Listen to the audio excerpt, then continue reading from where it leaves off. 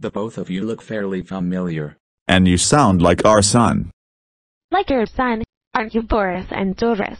What a pleasant surprise to meet you, sir and ma'am. This would also confirm you to be Caillou's parents. We indeed are.